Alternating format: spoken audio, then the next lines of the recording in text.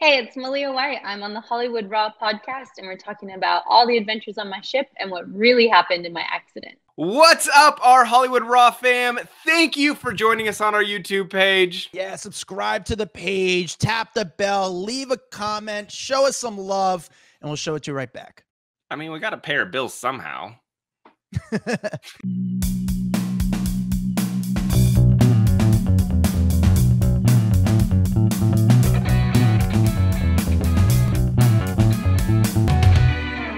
Yeah, we got a fun guest today. This is someone we've been trying to get on the show for a long time, uh, but they again they've been a hard person to find because you never know where they're at in the world. Dax, tell us about our guest today. Yes, we got Malia White on star, star, star, star of uh, Below Deck Mediterranean.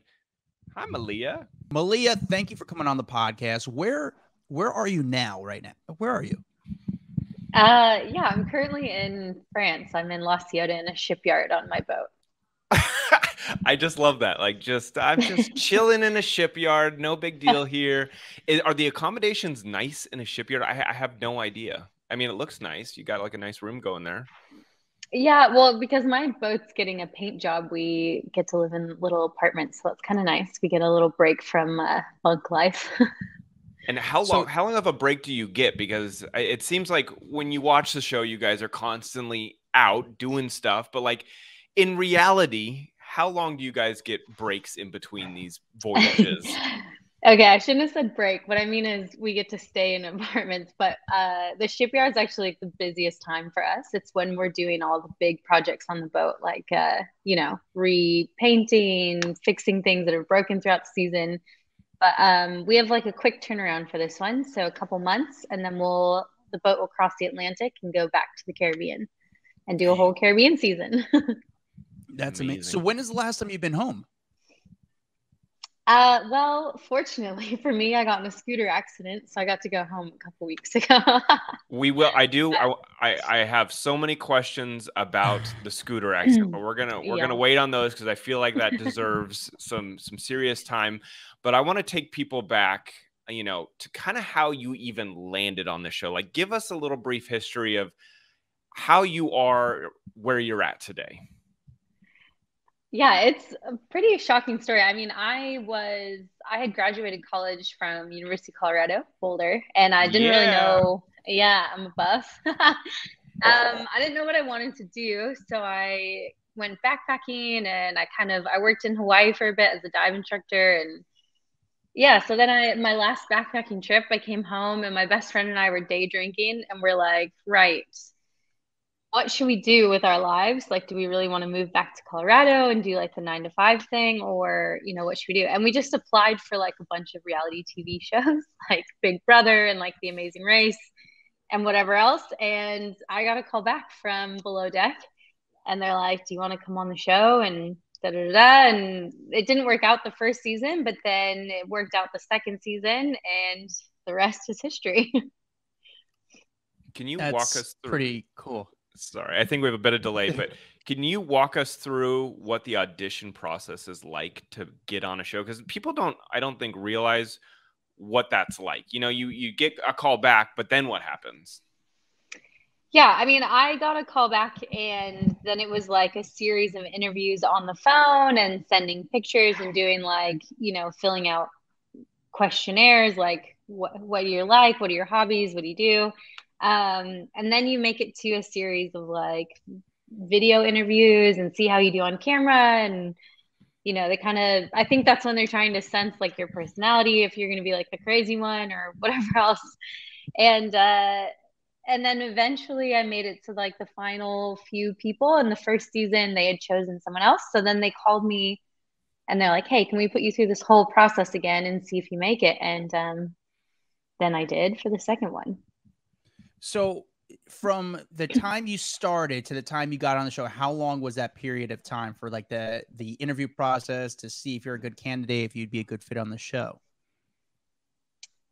To be honest, I don't remember like specifics with timeline, but I think it um I think it's just like a couple months. It's and then at the time I had moved back to Colorado. I was working in like a corporate desk job and they called me and they were like, Hey, we put you through again and you've actually made it. So if you want to go, you've got to like pack your bags and leave in like a week.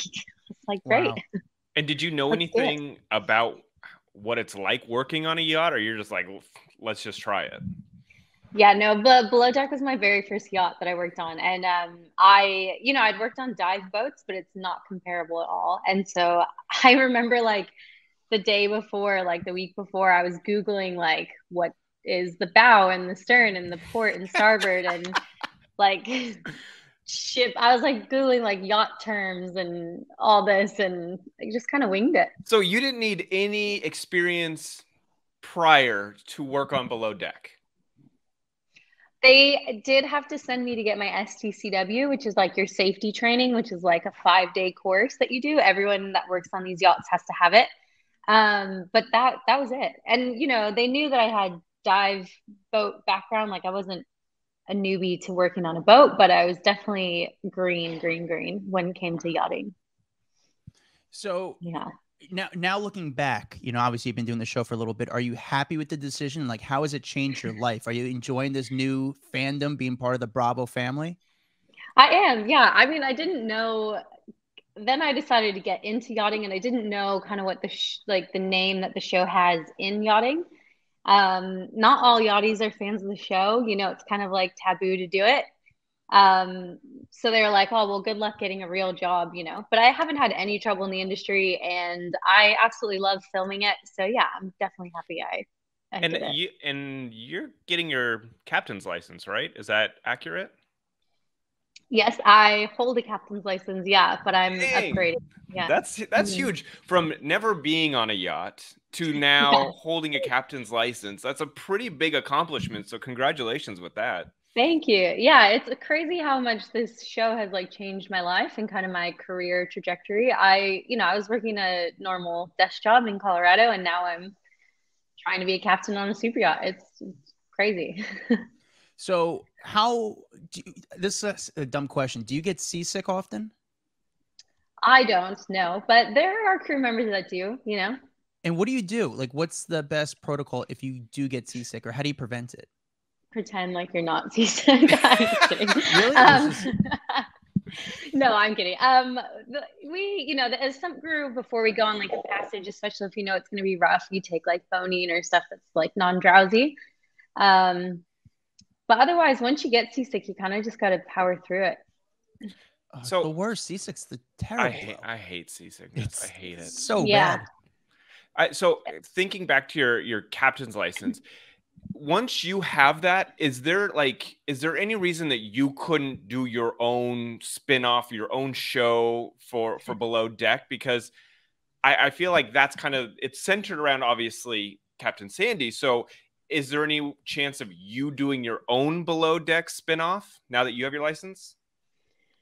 Um, like me being a captain on the show, is that what you mean? Or yeah, do, doing your own spin-off of it. They they give you your own season and it's not Mediterranean, it's the Baltic Sea. I don't I don't know my seas, so I'm just throwing shit out there. But you know, is there a chance of that?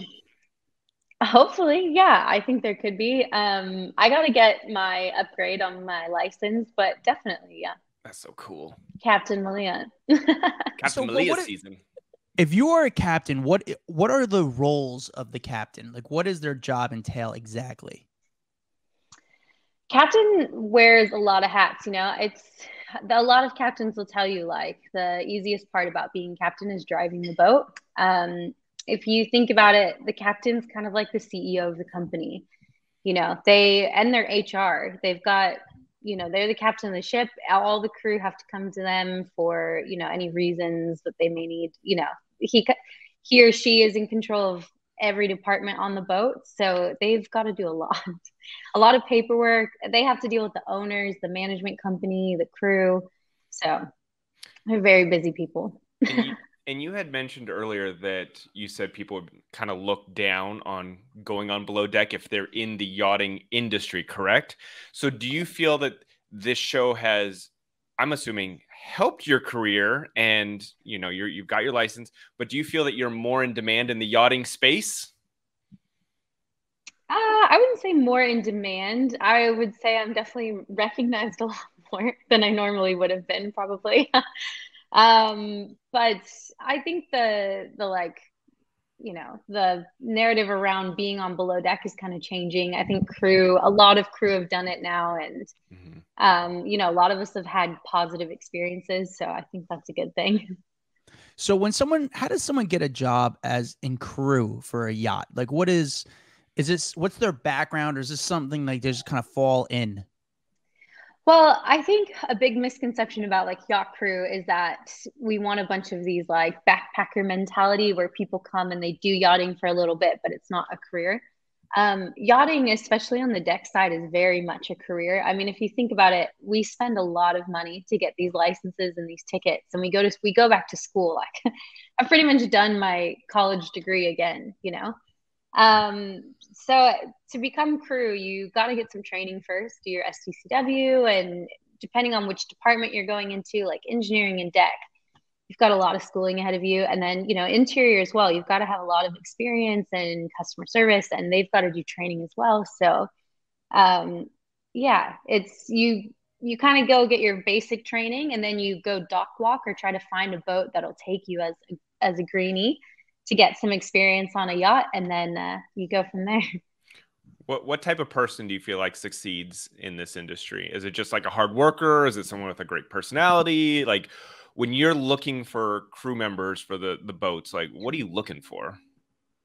To be honest, you've got to have a little bit of everything. You've got to be a hard worker. That's that's full. You know, that's that's through every department. You've got to have hard work, um, and a lot of our job is customer service. So you've got to be good with people and guests. I mean, unless oh, maybe you're like an that. engineer.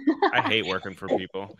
yeah. people have problems like go figure out your own problem. I don't know how you guys deal with whiny babies, but anyways. Yeah. You got to be good with people. You got to be okay being on your feet for long hours, you know. We've and kind of just being okay with being away from home and stuff like that. It's not, you know, it's not like the normal life. We're not home a lot and yeah well, describe, to, you know, tell me about the people that want you guys as staff. You know, like you, we know who you guys are, but the people that kind of want this kind of a, you know, the best staff possible. Obviously, they're they're they come from a, a very wealthy income.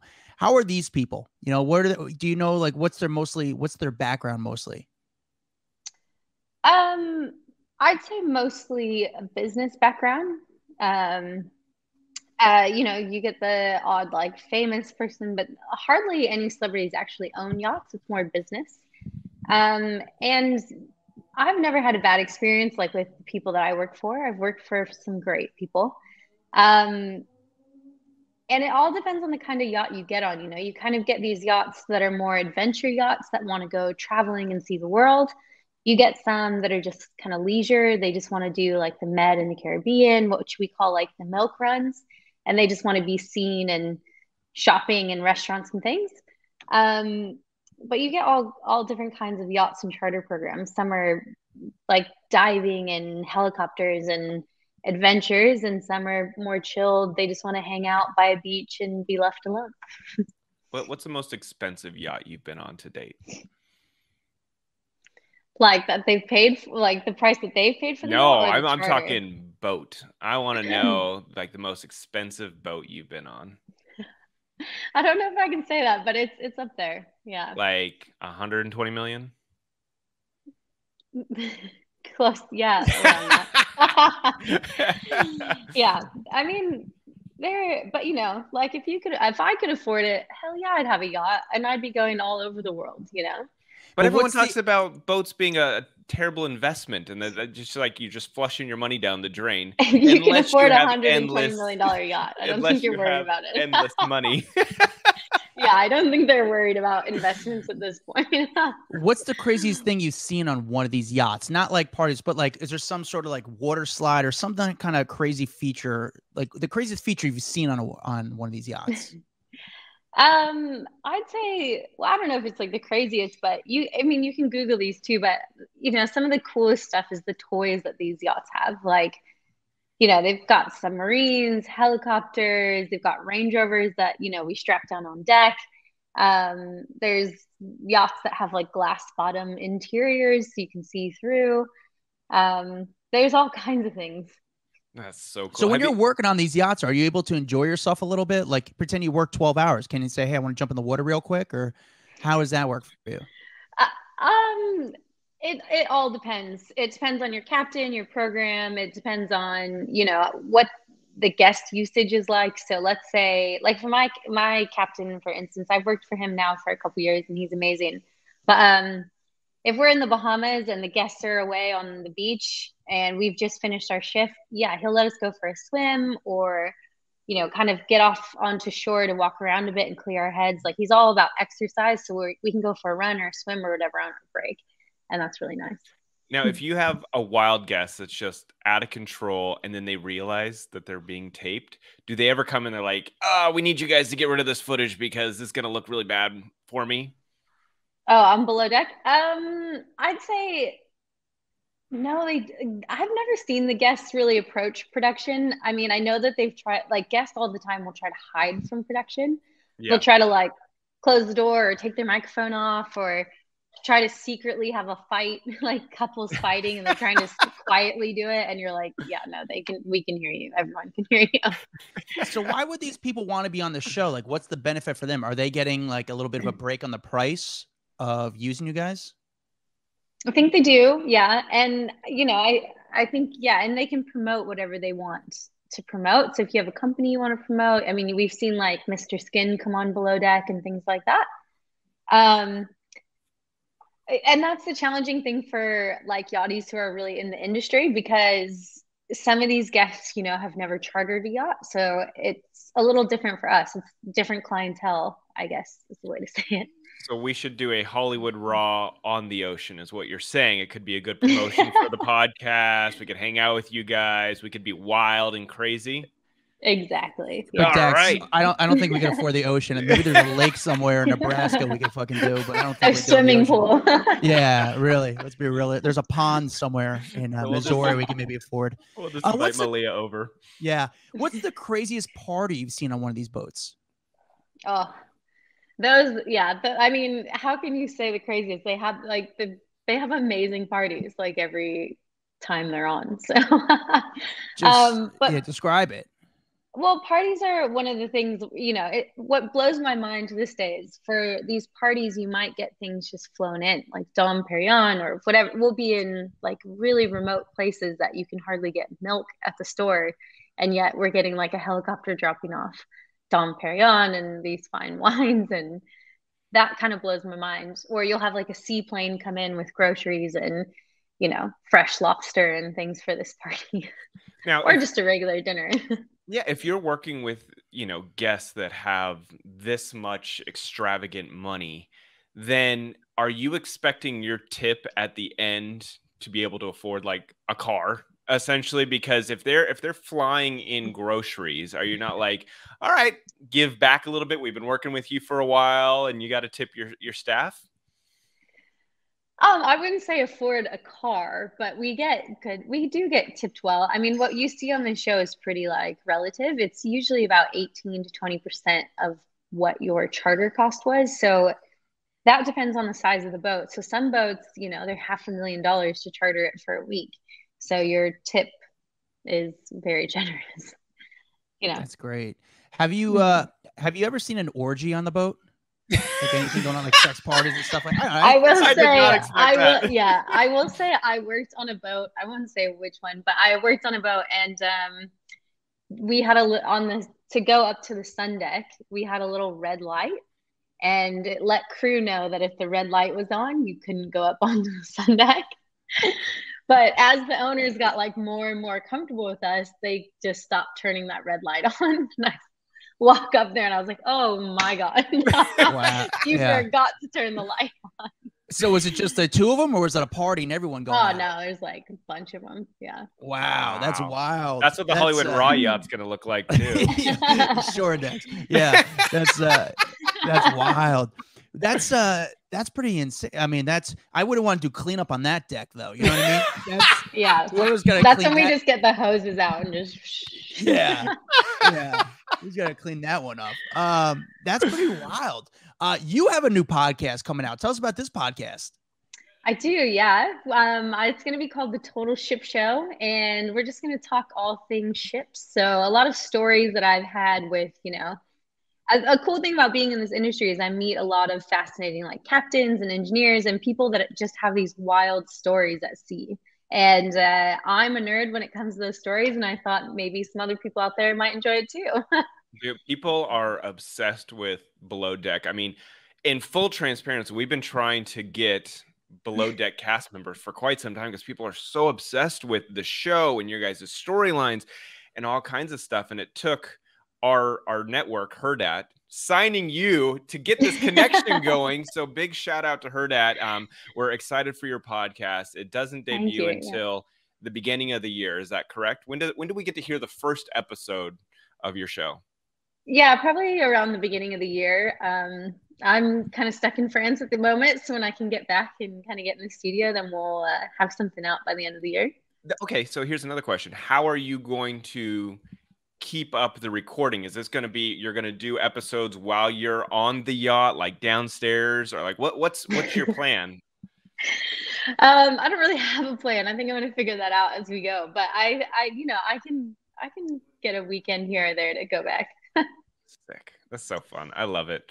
I just we... recorded um we just recorded our reunion and I did that in my shower on the yacht during a charter. So I figured it out. All right, we need to get into your scooter accident. This oh, was oh, yeah. a big deal. I saw mm. on mm. social media when you kind of said, "Hey, I've been in an accident. Thank God I was wearing my helmet." Walk us through mm. what happened.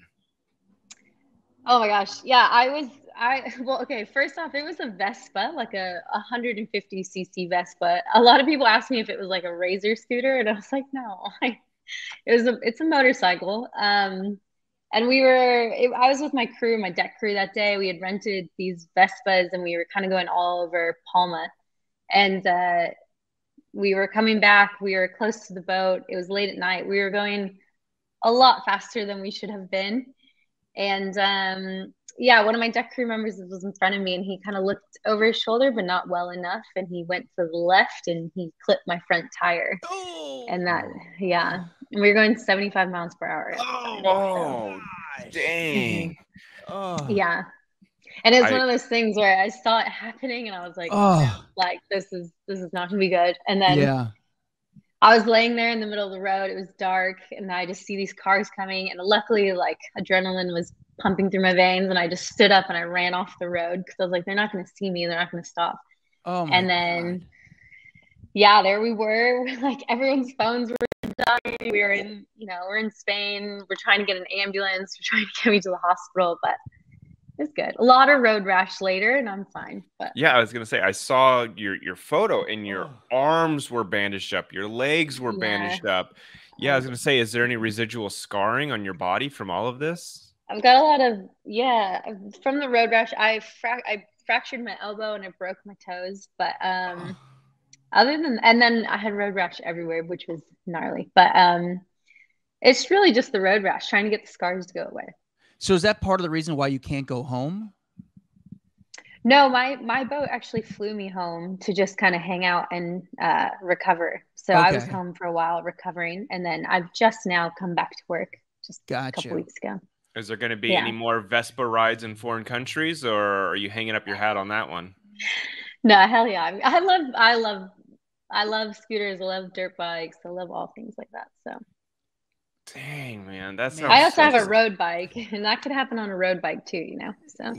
Yeah, but, I guess so. But seventy miles an hour. I'm just like picturing that because that's so easy that could happen. Like it's one of those things that's. Yeah. Uh, what did the guy like? What did he? Is he? What was his response? He was is fine. He, just, he, was able to like save it. Well, then... we know he's fine, but what was his yeah. response to you? is he just calling you every day? Like, has he? How does he? Oh no, he that? felt that He felt terrible. But I mean, it was my deck crew. So um, we they came over. You know, they. I think I was the calmest. I was like, guys, I'm okay. I'm going into shock. Like, let's just everyone take a deep breath. I'm fine. They were panicking. I was like, oh. it's so okay. It's okay. When, when they got you to the hospital, how long mm. did the medical staff have to sit there and like pick stones oh. and debris out of your skin? Oh. Honestly, that was the worst part. The poor woman, like I speak broken Spanish, she was speaking broken English, and basically she brought this tub in, and she's like, "I'm so sorry, this is gonna hurt," and I was like, "What? What's going on?" And she just takes this sponge and like this brush, and she just starts scrubbing all of my. Oh and like I, you saw the bandages i had wounds that were like massive and she it was pure iodine and i just started screaming and she gave me a popsicle stick to like bite down on and i was like no please stop. There's no better way to do it. They couldn't drug you up first? That was the other thing. They didn't give me any pain medication. And i was like why? Please give me pain medication. She's like we can't yet because we have to, they had to do scans and everything you know which i understand. But and was yeah. was there any long term like infections that you got from it that you had to get under control or anything? No, no infections or nothing. Um, I, do, I was concussed pretty badly, but uh, nothing long term. Well, I don't think. We'll and sorry, one other question: Did you land on the road like asphalt or on like gravel, like on the side of the road? Uh, it was like asphalt, but there was a patch of gravel that my friend had like tried to swerve. So there was loose gravel in it, but it was asphalt. And I just kind of flit. I like flew and just my body just did a bunch of barrel rolls on the asphalt. And I just, it's it's really amazing yeah. you didn't break more parts of your body. Like if you're flipping yeah. around like that, it's pretty unbelievable. Yeah, my helmet had a crack all the way down the middle, like it was split, and my face. Luckily, I had a face shield, so um, the but pieces of plastic from the face shield were in like my eyebrow and things. But oh my god, I'm good, rough. good now. so we know that the show has this insane fan base. Who is the biggest celebrity that's reached out to you that kind of left you starstruck? Someone maybe slid in your DMs and said, "I'm a huge fan." That was like, "Wow, this is pretty cool." um, this happened just recently, actually. I don't really want to name drop, but um, she, yeah, I got a message from a pretty big namer, and I was like, "Come on, drop she, the name." It's okay. No, I can't. I can't. But I didn't know that I could filter message requests, so she had actually sent me it in like September and I didn't know. And I only just responded like two days ago. I was like, oh, hey, um, also a big fan, but I didn't know you sent me a message like months ago. wow. Are we talking, wait, are we talking actress, singer? Actress, model? Oh, got you. That's really cool. So, Emrata, tell us about her. Uh, she's a huge fan and uh, you got i think another cool one was chrissy teigen put on like you know she tweeted she was like oh is such a badass. And i was like wow this is so weird that like celebrities know my name or who i am. Yeah. It's so funny. yeah i think a lot of celebrities watch the show now which is cool. So on that note do you watch any other bravo shows or is there any other bravo celebrities that you're obsessed with personally if I'm honest, I don't watch any other Bravo shows. And I'm not a huge, I don't know that I, you know, I'm not a huge like celebrity fangirl, I guess. I don't know. I'm, I don't know what I would do if Adam, I saw a famous person. I'd probably just be like, hey, what's up? Adam, who else told us they were on a Bravo show and they were like, ah, I don't really watch any other ones? Was it Leah McSweeney? Might have been her, but Leah's been in the game for a while. Like she's cool. Like she's a New Yorker. Like she's. Was it maybe it was like Dorinda? Was it Dorinda? It could be Dorinda. I think I it was think Dorinda. Dorinda. was like, yeah, I don't listen. I don't watch it. Yeah. Like I've met a bunch of other Below Deck cast members, and I didn't know they were on Below Deck. Like they were like, "Oh, hey, Malia," and I was like, "Hey," and they're like, "No, it's me," and I was like, "Cool, it's me also." and then they're like, "Oh," my friends are like, "Dude, that's so and so from like sailing season." I was like, "Oh, cool. Hey." That's so, so funny. Dax, uh, we want to play a game with you, Malia. And uh, Dax, okay. tell us about this game. All right. So, this is a new game for us, but we're really excited. It's called Cap or Fact. All right. So, we're going to read off some of these headlines that are circulating around the world. You let us know if it's cap or fact because there's so much. You know, listen, we've been in the entertainment industry for years and years and years. And there's a lot of stuff that I see, and I'm like, there is no way that's true and it's just people trying to get mm-hmm. headlines. So we're gonna read off headlines. You let us know. Okay. All right. You, okay. We all know what cat means, right? We're all cool. We're all hip. I'm no, I don't actually. See, I, mean, knew that. Jack, I knew. Yeah, it's like yeah, it's a lie. Cat means lie. That's what all the TikTokers are saying now. So that's cat, like C A T. CAP. So cap like is a now- Cap. Oh, Cap. okay. I thought you. I thought we were playing like captain or fact. I was like, okay. No, no, so, all right. cap is a lie. Fact is a fact. It's All true. right. You Okay, just say let's- lie. It's the same amount of letters. I know, but it's so. It's It's a cool We gotta be cool. We gotta be cool, you know? Okay, you right. We're, we're all right. So, work on that. all right, Malia, cap or fact? Daily Express did a story, a headline that said "Below Deck Mediterranean is Malia White dating one of her co-stars?" Question mark. That is the headline. Cap or fact? Cap.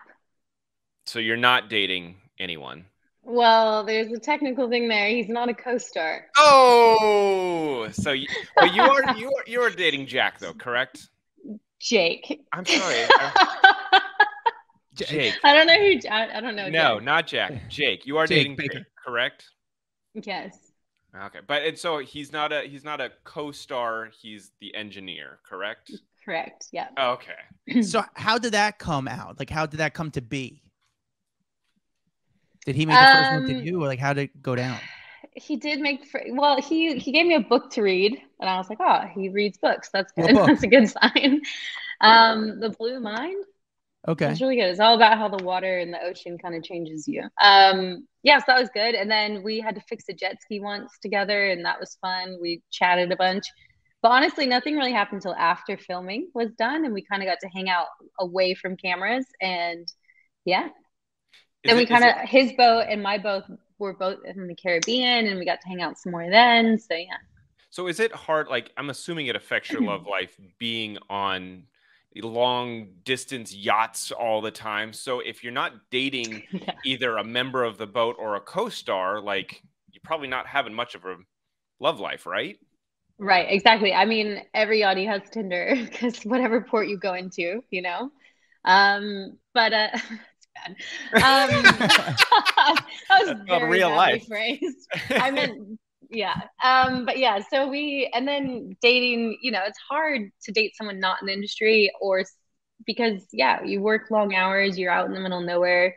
You're on a boat with a bunch of people. It's it's tough. Unless you're So on rotation, then that that works.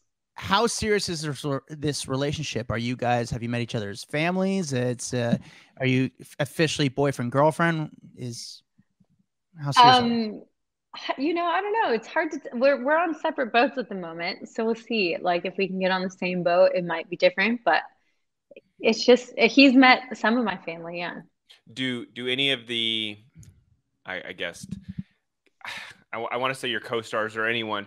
Do you guys ever hook up with people that are guests on the boat? And I'm not saying you necessarily. I'm just saying, is that like a common thing? Like people could potentially hook up with a, a guest?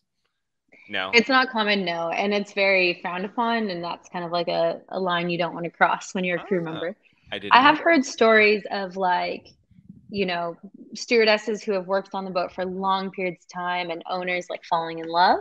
That's happened. That's very, very rare, but it's happened. Um, but no, it's not. It's very. It's you don't do that. And can Okay. you confirm or deny that Jake doesn't actually go by Jack? He, he goes by Jake. I don't think he'd like it if I called him Jack. He'd be like, "Who's Jack?" All right. Cap or fact: Bosses forced to step in during wild Lexi Wilson fight. Bosses. Uh, Yeah, the the yeah. the production fact. Fact. Yeah. Yeah. Interesting. All right. Yeah, Nothing to- she she crossed the line. She was she got physical and then they eh, jump we- in. Yeah, Now, is this? But this is production, or this is literally whoever's manning the boat? Is it? You know, is it everyone jumping in, or just production? it was production at that point. It was that night that we're all in the crew mess and everyone's kind of like going at it and we're trying to get her to just like go to bed and then she started shoving Zee and she started getting physical and like throwing arms and then production just came in and was like, right, everyone go to bed. So. All right. Next one, Cap or Fact. Metro put out this headline that says Below Deck Mediterranean, Matthew Brand Sandy, one of the worst captains in reunion. fact, he did do that. Yes. Fact. And why? Captain Sandy and Matthew did not get along very well. Um, I don't think she liked that he quit and came back, and I don't think he liked the way that she spoke to him sometimes. So it was kind of a brutal uh, work relationship. Interesting. All right. All right. This one came from Bravo TV's website. Uh, Captain Sandy Yawn recalls the most volatile crew experience she's been on below deck Mediterranean. Is it, was it, uh, yeah? Probably Lexi, yeah. Okay. All right, I got one last one here for you. Cap or fact? We're doing headlines from around the world, different uh, publications. This one comes from Daily Express. Is Hannah returning to below deck Mediterranean? Question mark. Cap or fact? Is Hannah returning? I have no idea. There's a lot. There's a lot of. I'm the wrong person to ask. there's a lot of rumors. Yeah, last time I yeah I haven't really talked to Hannah about it, but um I'd say I have no idea. Okay, this is going to lead us into our next little game here. It's called Rate Your Co-Star. Okay. So we're going to get into what it's like working with some of these people because, you know, when I was on on TMZ, people would think, "Oh, the, these people are the best friends," and if I rated them, I might have rated them differently than what you see on TV. okay. Adam, I, yeah. Adam, I would have given a four on TMZ. I was about to say, "What are you doing, me?" Uh, All right, one to 10, rate Captain Sandy. Nine. Cool. All right. Uh, Hannah. Six. Colin. I've never worked with Colin. Never worked with Colin? But he's a great guy. I really like Colin. I'd give him like a 10. He's so Ooh. nice. All right. That's a good one. Okay. Uh, Christine. Oh, Bugsy? Yeah. Yep. Uh, I'd give Bugsy an eight. All right. What about maybe not a co-star, but someone you work with, Jake? Ten. yeah, that's what I'm talking about. uh, how about Lexi Wilson? Oof, I'd say a four, hard four. Ooh, hard four for Lexi. All right, well, that mm-hmm. was fun. That was the first time we played Rate Your Coworker. That was fun. I liked it. oh man, well, you, Adam, do you have any other following questions? Because yeah, no, really fun. I know I enjoy this. It's uh, you have an interesting gig, so it's like one of those things where I'm just mm. more interested in your lifestyle and your job. It's one of those things where I, I it's it's there's only so many. I understand why you're kind of dating another person that's in your industry because like you two are on the same page a little bit. You they you understand each other's types of lives. Um, yeah. what is your my my last question for you is just what's your end goal? Like I know you be captain, but is there more long term? Are you trying to get more into reality TV or more have your own show? Like, what is your end goal?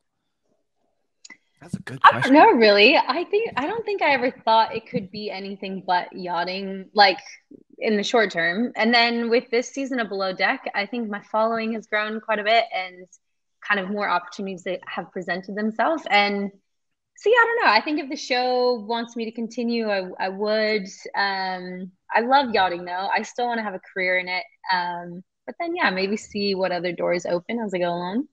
What What was the moment that you came back to like the U.S. and you realized, oh damn, I'm actually really popular here. People are recognizing me when I'm walking down the street. Like, what was that moment like? I love hearing these like insta famous stories because for a lot of people they are on a reality show. The reality show is huge, and then all of a sudden they're thrust into this like new fame.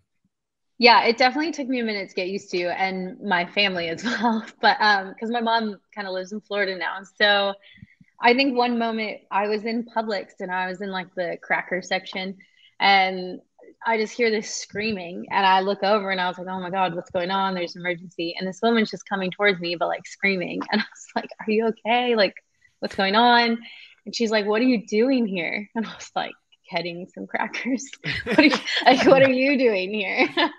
uh, and then it, it took me a minute to like clock it. And I was like, oh shit, like you watch Below Deck. uh, yeah. So I don't know. It's taken me a minute. Um, I thought with the brown hair, I wouldn't be as recognizable, but apparently it's my voice. So I don't know what that says about me. How many people come up to you and are like, why do I know you? Where do I know you from?